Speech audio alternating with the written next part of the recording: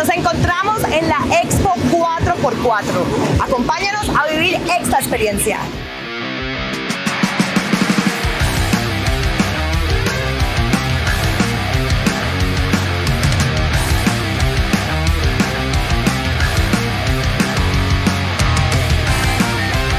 Pamela, cuéntanos cómo te fue en esta experiencia.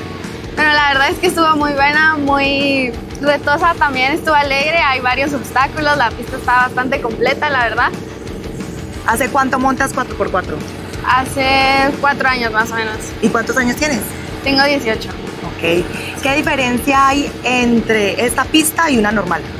Eh, que tiene varios obstáculos, las subidas son bastante inclinadas, hay eh, bajadas que son igual complicadas y pues la verdad es que está completa, tiene bastantes obstáculos para que exista la articulación, la verdad es que muy bonita.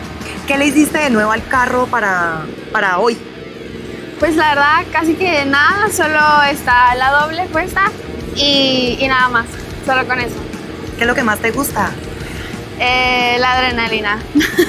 la adrenalina y las experiencias de cada una de las pistas y todo, y, y la satisfacción más que todo. Para involucrarse definitivamente hay que, hay que buscar la forma.